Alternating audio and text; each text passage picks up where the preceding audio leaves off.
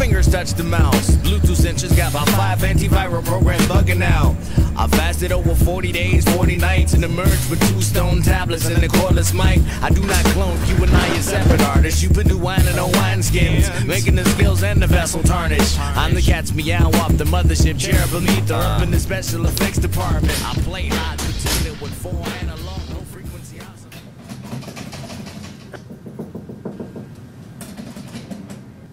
What up, dog? Jesus done came and gone by the time you're supposed to been here. Oh. Oh, man. Sorry. Yeah, we were supposed to work on Nerdy Girls Gone Wild at HFCC. Sorry, dude, but there's a new Pokemon movie out, man. I just had to see it. You got some sort of Pokemon fetish, man? Don't tell me you in love with the Powerpuff Girls too.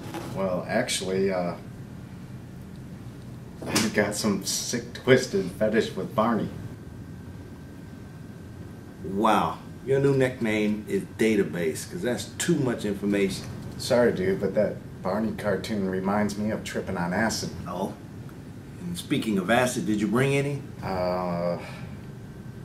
I sort of ate it all right before I watched that Pokemon movie. Alright, that's it. I'm getting another partner. You're gonna have to because I already got me another one. Oh, really? Who's gonna work with your acid tripping ass? Wes Anderson. Wes Anderson. You mean that Austrian fashion designer that's more than a little sexually ambivalent? Sexually ambivalent.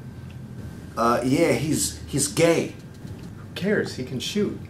Yeah, I'm sure he can. Whatever. See you, man. Uh, well, good luck with Boys Gone Wild. From Brokeback Mountain. In space. 30 pounds overweight.